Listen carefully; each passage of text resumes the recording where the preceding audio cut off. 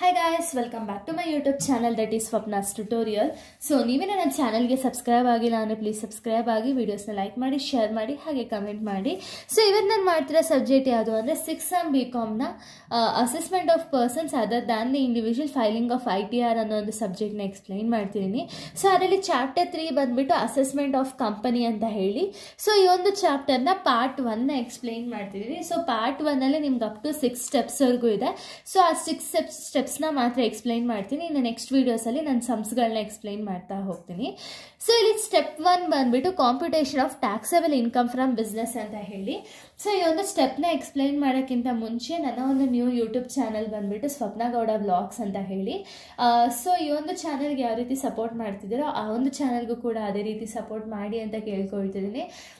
So ಆ ಒಂದು channel link ಬಂದುಬಿಟ್ಟು ಡಿಸ್ಕ್ರಿಪ್ಷನಲ್ಲಿ ಅಪ್ಲೋಡ್ ಮಾಡಿರ್ತೀನಿ. ಸೊ ಆ ಒಂದು ಚಾನಲ್ ಲಿಂಕ್ನ ಅಲ್ಲೂ ಕೂಡ ಸಬ್ಸ್ಕ್ರೈಬ್ ಆಗಿ ಅಂತ ಹೇಳಿ ಕೇಳ್ಕೊಳ್ತೀನಿ. ಸೊ ಇವಾಗ ಸ್ಟೆಪ್ ಒನ್ ಬಂದುಬಿಟ್ಟು ಕ್ಯಾ calculation of taxable income from business ಅಂತ ಹೇಳಿ. ಸೊ ಅಲ್ಲಿ ನೀವೇನು ಮೆನ್ಷನ್ ಮಾಡಬೇಕು ಅಂದರೆ ನಿಮ್ಗೆ ಯಾವುದೇ ಸ್ಟೆಪ್ಸ್ ಕೊಡಲಿ. ಸ್ಟಾರ್ಟಿಂಗ್ ಸ್ಟೆಪ್ ನಿಮ್ಗೆ ಯಾವಾಗ ಬರೀತಿರೋ ಆವಾಗ ಅಸಸಿ ನೇಮು ಮತ್ತು ಸ್ಟೇಟಸ್ ಅಂದರೆ ಏನು, ಅವರು ರೆಸಿಡೆಂಟಾ ಏನು ಅಂತ ಹೇಳಿ ಬರೀತೀರಾ? ಆ್ಯಂಡ್ ಪ್ರೀವಿಯಸ್ ಇಯರ್ ಅಸೆಸ್ಮೆಂಟ್ ಇಯರ್ನ ಹಾಕಿಬಿಟ್ಟು ಆಮೇಲೆ ಫಾರ್ಮೆಟ್ ಅನ್ನೋದನ್ನ ಕಂಟಿನ್ಯೂ ಮಾಡಿ ಓಕೆನಾ ಸೊ ಫಾರ್ಮೇಟಲ್ಲಿ ಪರ್ಟಿಕ್ಯುಲರ್ಸ್ ರುಪೀಸ್ ರುಪೀಸ್ ಅಂತ ಟೂ ಕಾಲಮ್ಸ್ ಬರುತ್ತೆ. ಸೊ ರುಪೀಸ್ ಕಾಲಮ್ ನಮಗಿಲ್ಲ ಇನ್ನರ್ ಕಾಲಮ್ ಅವಶ್ಯಕತೆ ಇಲ್ಲ ಅಂದರೆ ಏನು ಇಶ್ಯೂ ಇಲ್ಲ. ಔಟರ್ ಕಾಲಮಲ್ಲೇ ನೀವು ಡೈರೆಕ್ಟಾಗಿ ಬರೀಬೋದು. ಸೊ ಫಸ್ಟ್ ನೀವು ಇಲ್ಲಿ ಏನು ತಗೋಬೇಕು ಅಂದರೆ net profit as per P and L account ಅಂದರೆ ಪ್ರಾಫಿಟ್ ಆ್ಯಂಡ್ ಲಾಸ್ ಅಕೌಂಟಲ್ಲಿ ಏನು ನೆಟ್ ಪ್ರಾಫಿಟ್ ಇರುತ್ತೋ ಅದನ್ನು outer ಕಾಲಮಿಗೆ ಬರೀತೀರಾ.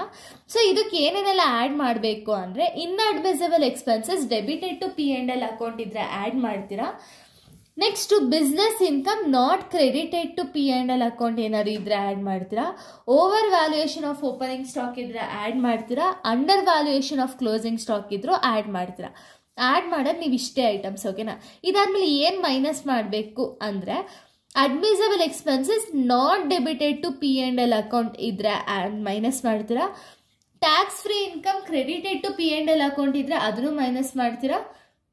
Non business income credited to P and L account ಇದ್ರೆ ಅದನ್ನ ಮೈನಸ್ ಮಾಡ್ತೀರಾ? ಇಲ್ಲಿ ಓವರ್ ವ್ಯಾಲ್ಯೂಯೇಷನ್ ಆಫ್ ಓಪನಿಂಗ್ ಸ್ಟಾಕ್ನ ಆ್ಯಡ್ ಮಾಡಿದ್ರಿ, ಇಲ್ಲಿ ಅಂಡರ್ ವ್ಯಾಲ್ಯೂಯೇಷನ್ ಆಫ್ ಓಪನಿಂಗ್ ಸ್ಟಾಕ್ನ ಮೈನಸ್ ಮಾಡ್ತೀರಾ? ಓಕೆನಾ ನೆಕ್ಸ್ಟ್ ಏನು ಮಾಡಬೇಕು ಅಂದರೆ, ಇಲ್ಲಿ ಅಂಡರ್ ವ್ಯಾಲ್ಯೂಯೇಷನ್ ಆಫ್ ಕ್ಲೋಸಿಂಗ್ ಸ್ಟಾಕ್ನ ಆ್ಯಡ್ ಮಾಡಿದ್ರಿ ಓವರ್ ವ್ಯಾಲ್ಯೂಯೇಷನ್ ಆಫ್ ಕ್ಲೋಸಿಂಗ್ ಸ್ಟಾಕ್ನ ಮೈನಸ್ ಮಾಡ್ತೀರಾ? ಇಷ್ಟು ಆ್ಯಡ್ ಆ್ಯಂಡ್ ಮೈನಸ್ ಮಾಡಿದ್ಮೇಲೆ ನೆಟ್ ಪ್ರಾಫಿಟ್ಗೆ ನಿಮಗೆ ಸಿಗೋ ಆನ್ಸರ್ ಏನು ಅಂದರೆ ಟ್ಯಾಕ್ಸಬಲ್ ಇನ್ಕಮ್ ಫ್ರಮ್ ಬಿಸ್ನೆಸ್ ಎಷ್ಟು ಅಂತ ಹೇಳಿ ಸಿಗುತ್ತೆ. ಇದು ಫಸ್ಟ್ ಸ್ಟೆಪ್ಪು ಇನ್ನು ಸೆಕೆಂಡ್ ಸ್ಟೆಪ್ ನಾವು ನೋಡೋದಾದ್ರೆ ಸೆಕೆಂಡ್ ಸ್ಟೆಪ್ ಬಂದ್ಬಿಟ್ಟು ಕಾಂಪಿಟೇಷನ್ ಆಫ್ ಟೋಟಲ್ ಇನ್ಕಮ್ನ ಕಾಂಪ್ಯೂಟ್ ಮಾಡ್ತೀರಾ? ಓಕೆನಾ ಟೋಟಲ್ ಇಂಪ ಇನ್ಕಮ್ನ ಯಾವ ರೀತಿ ನೀವು ಕ್ಯಾಲ್ಕುಲೇಟ್ ಮಾಡೋದು ಅಂದರೆ first income from house property ಇದ್ರೆ ಅದನ್ನು ತಗೊಳ್ತೀರಾ? ಇನ್ಕಮ್ ಫ್ರಮ್ ಬಿಸ್ನೆಸ್ ಕೊಟ್ಟಿದ್ರೆ ಆ ಅಮೌಂಟ್ನ ತಗೊಳ್ತೀರಾ? ಇನ್ಕಮ್ ಫ್ರಮ್ ಕ್ಯಾಪಿಟಲ್ ಗೇನ್ ಅದು L T C G and S T C G ಅಂದರೆ ಲಾಂಗ್ ಟರ್ಮ್ ಕ್ಯಾಪಿಟಲ್ ಗೇನ್ ಮತ್ತು ಶಾರ್ಟ್ ಟರ್ಮ್ ಕ್ಯಾಪಿಟಲ್ ಗೇನ್ ಇದ್ರೆ ತಗೊಳ್ತೀರಾ? ಇನ್ಕಮ್ ಫ್ರಮ್ ಅದರ್ ಸೋರ್ಸಸ್ ಏನಾದ್ರು ಕೊಟ್ಟಿದ್ರೆ ಆ ಒಂದು ಅಮೌಂಟ್ನ ಆ್ಯಡ್ ಮಾಡ್ತೀರಾ?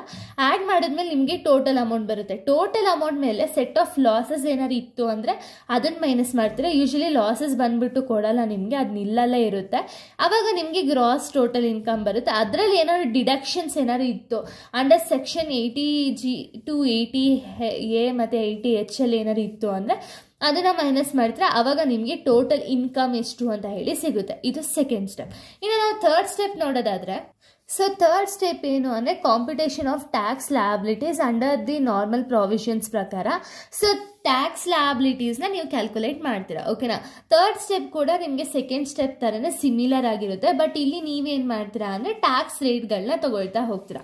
So first income from house property constant ಇದು ಟ್ಯಾಕ್ಸ್ ರೇಟು ಇದೇ ಟ್ಯಾಕ್ಸ್ ರೇಟೇ ನೀವು ತೊಗೋಬೇಕು ತರ್ಟಿ ಪರ್ಸೆಂಟ್ನ ತೊಗೊಳ್ತೀರಾ. ಇನ್ಕಮ್ ಫ್ರಮ್ ಬಿಸ್ನೆಸ್ ಬಂದುಬಿಟ್ಟು ಟ್ವೆಂಟಿ ಫೈವ್ ಪರ್ಸೆಂಟ್ ಏನು ಅಮೌಂಟ್ ಇರುತ್ತೋ ಅದ್ರ ಬೇಸಿಸ್ ಮೇಲೆ ಟ್ವೆಂಟಿ ಫೈವ್ ಪರ್ಸೆಂಟ್ನ ಕೊಡ್ತೀರಾ.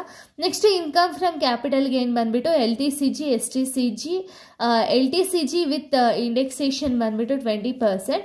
STCG with indexation 1 by to 10 percent. LTCG under uh, 112A prakara 10 percent.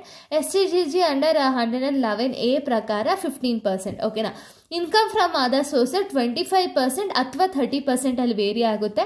ಇಷ್ಟು ಅಮೌಂಟ್ನು ಆ್ಯಡ್ ಮಾಡ್ತೀರಾ ಆ್ಯಡ್ ಮಾಡಿದ್ಮೇಲೆ ಅದಕ್ಕೆ ಸರ್ಚ್ ಚಾರ್ಜಸ್ನ ಕೊಡ್ತೀರಾ ಸರ್ಚ್ ಚಾರ್ಜಸ್ಸು ನಿಮ್ಗೇನು ಬರಲ್ಲ. ಈ ಒಂದು ಅಮೌಂಟ್ ಬೇಸಿಸ್ ಮೇಲೆ ಹೆಲ್ತ್ ಆ್ಯಂಡ್ ಎಜುಕೇಷನ್ ಸೆಸ್ನ ಕೊಡ್ತೀರಾ, ಅದು ಫೋರ್ ಪರ್ಸೆಂಟ್ ಇಷ್ಟು ಅಮೌಂಟ್ ನೀವು ಕ್ಯಾಲ್ಕುಲೇಟ್ ಮಾಡಿದಾಗ ನಿಮಗೆ ಟ್ಯಾಕ್ಸ್ ಲಯಬಿಲಿಟಿ ಅಥವಾ ನಾರ್ಮಲ್ ಪ್ರಾವಿಷನ್ ಅಮೌಂಟ್ ಎಷ್ಟು ಅಂತ ಹೇಳಿ ಸಿಗುತ್ತೆ. ಇದು ಥರ್ಡ್ ಸ್ಟೆಪ್ ಇನ್ನು ಫೋರ್ತ್ ಸ್ಟೆಪ್ ನಾವು ನೋಡೋದಾದರೆ ಸೊ ನೋಡಿ ಫೋರ್ ಸ್ಟೆಪ್ ಬಂದ್ಬಿಟ್ಟು ಕಾಂಪಿಟೇಷನ್ ಆಫ್ ಬುಕ್ ಪ್ರಾಫಿಟ್ನ ಕ್ಯಾಲ್ಕುಲೇಟ್ ಮಾಡ್ತೀರಾ. ಸೊ ಬುಕ್ ಪ್ರಾಫಿಟ್ಗೆ ಏನೇನೆಲ್ಲ ಡೀಟೇಲ್ಸ್ ಬೇಕು ಅಂದರೆ first net profit as per P and L ಅಕೌಂಟ್ನ ತಗೊಳ್ತೀರಾ. ಇದಕ್ಕೆ ಏನೇನೆಲ್ಲ ಆ್ಯಡ್ ಮಾಡಬೇಕು, ಏನೇನೆಲ್ಲ ಮೈನಸ್ ಮಾಡಬೇಕು ಅಂದರೆ, ಇಲ್ಲಿ ಇನ್ಕಮ್ ಪೇಯ್ಡ್ ಅಥವಾ ಪೇಯಬಲ್ ಏನಾದ್ರು ಇತ್ತು ಅಂದರೆ, ಅದನ್ನು ತಗೊಳ್ತೀರಾ. ನೆಕ್ಸ್ಟ್ ಎನಿ ಪ್ರಾವಿಷನ್ ಅಥವಾ ರಿಸರ್ವ್ಸ್ ಏನಾದ್ರು ಇದ್ದರೆ ಅದನ್ನು ಆ್ಯಡ್ ಮಾಡ್ತೀರಾ. Provisions for and uncertainty liabilities ಇದ್ದರೆ ಅದನ್ನು ಆ್ಯಡ್ ಮಾಡ್ತೀರಾ. Provision for losses and subsidiary company ಇದ್ದರೆ ಅದು ಆ್ಯಡ್ ಮಾಡ್ತೀರಾ? ಡಿವಿಡೆಂಡ್ ಪೇಯ್ಡ್ ಅಥವಾ payable on propose dividend and add ಮಾಡ್ತೀರಾ? Expenses related to exempted income ಇದ್ದರೆ ಅದನ್ನು ಆ್ಯಡ್ ಮಾಡ್ತೀರಾ? ಅಮೌಂಟ್ ಆಫ್ ಡಿಪ್ರಿಸಿಯೇಷನ್ನ ಆ್ಯಡ್ ಮಾಡ್ತೀರಾ? Amount of provision for deferred tax ಇದೆ, ಅದನ್ನು ಆ್ಯಡ್ ಮಾಡ್ತೀರಾ?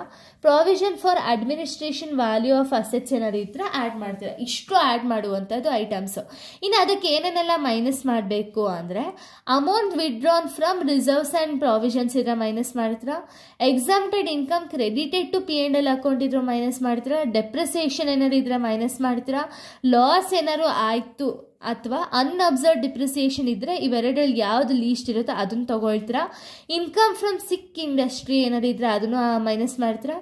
Income from business unit S C Z in ಏನಾದ್ರು ಇನ್ಕಮ್ ಬಂದಿದ್ರೆ ಅದನ್ನು ಮೈನಸ್ ಮಾಡ್ತೀರಾ? ಡೆಫರ್ ಟ್ಯಾಕ್ಸ್ ಏನಾದ್ರು ಕ್ರೆಡಿಟ್ ಆಗಿದ್ರೆ ಮೈನಸ್ ಮಾಡ್ತೀರಾ?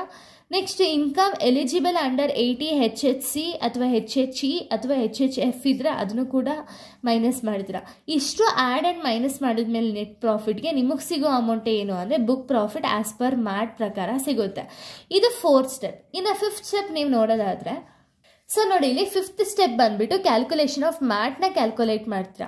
ಸೊ ಮ್ಯಾಟ್ ಅಂದರೆ ಏನು? ಮಿನಿಮಮ್ ಆಲ್ಟರ್ನೇಟಿವ್ ಟ್ಯಾಕ್ಸ್ ಅಂತ ಹೇಳಿ. ಸೊ ಮಿನಿಮಮ್ ಆಲ್ಟರ್ನೇಟಿವ್ ಟ್ಯಾಕ್ಸ್ಗೆ ನಿಮ್ಗೆ ಏನು ಫೋರ್ ಸ್ಟೆಪ್ಪಲ್ಲಿ ಬುಕ್ ಪ್ರಾಫಿಟ್ ಸಿಗುತ್ತೋ ಇಂಟು ಫಿಫ್ಟೀನ್ ಪರ್ಸೆಂಟ್ ಮಾಡಿದ್ರೆ ನಿಮ್ಗೆ ಔಟರ್ ಕಾಲಮ್ ಅಮೌಂಟ್ ಬರುತ್ತೆ. ಇದಕ್ಕೆ ಸರ್ಚ್ ಚಾರ್ಜಸ್ ಏನಾದ್ರು ಇದ್ದರೆ ಆ್ಯಡ್ ಮಾಡ್ತೀರಾ. ಸರ್ಚ್ ಚಾರ್ಜಸ್ ಕೊಡಲ್ಲ ಯೂಶುವಲಿ ಇದರ ಬೇಸಿಸ್ ಮೇಲೆ ಹೆಲ್ತ್ ಆ್ಯಂಡ್ ಎಜುಕೇಷನ್ ಸೆಸ್ ಬಂದ್ಬಿಟ್ಟು ಫೋರ್ ಪರ್ಸೆಂಟ್ ಇಲ್ಲಿ ಏನು ಅಮೌಂಟ್ ಇರುತ್ತೋ ಅದ್ರ ಮೇಲೆ ಫೋರ್ ಪರ್ಸೆಂಟ್ನ ಮಾಡಿದ್ರೆ ನಿಮಗೆ ಮ್ಯಾಟ್ ಆನ್ಸರ್ ಎಷ್ಟು ಅಂತ ಹೇಳಿ ಸಿಗುತ್ತೆ. ಇವೆರಡೂ ಆ್ಯಡ್ ಇದು ಫಿಫ್ತ್ ಸ್ಟೆಪ್ ಇನ್ನು ಸಿಕ್ಸ್ತ್ ಸ್ಟೆಪ್ನ ನೀವು ನೋಡೋದಾದ್ರೆ ಫೈನಲ್ ಟ್ಯಾಕ್ಸ್ ಲ್ಯಾಬಿಲಿಟೀಸ್ನ ಕ್ಯಾಲ್ಕುಲೇಟ್ ಮಾಡಬೇಕಾಗುತ್ತೆ. ಇದಕ್ಕೆ ನೀವೇನು ಮಾಡಬೇಕು ಅಂದರೆ ಸ್ಟೆಪ್ ತ್ರೀ ಆನ್ಸರ್ ಅಥವಾ ಸ್ಟೆಪ್ ಫೋರ್ ಆನ್ಸರ್ ಇವೆರಡಲ್ಲಿ ಯಾವ್ದು ಹೈಯೆಸ್ಟ್ ಇರುತ್ತೋ ಅದನ್ನು ತಗೊಳ್ತೀರಾ. ಅದನ್ನು ಫೈನಲ್ ಟ್ಯಾಕ್ಸ್ ಲ್ಯಾಬಿಲಿಟೀಸ್ ಅಂತ ಹೇಳಿ ನೀವು ಕನ್ಸಿಡರ್ ಮಾಡ್ತೀರಾ. ಓಕೆನಾ ಇದು ಇಷ್ಟು ಕೂಡ ಸ್ಟೆಪ್ಸ್ಗಳಾಗಿದೆ ಸೊ ಇಲ್ಲಿಗೆ ಒಂದು ವಿಡಿಯೋ ಅನ್ನೋದು ಕಂಪ್ಲೀಟ್ ಆಗುತ್ತೆ. ನೆಕ್ಸ್ಟ್ ವಿಡಿಯೋದಲ್ಲಿ ಇದರ ರಿಲೇಟೆಡ್ ಪ್ರಾಬ್ಲಮ್ಸ್ನ ಎಕ್ಸ್ಪ್ಲೈನ್ ಮಾಡ್ತೀನಿ. So thank you guys thanks for watching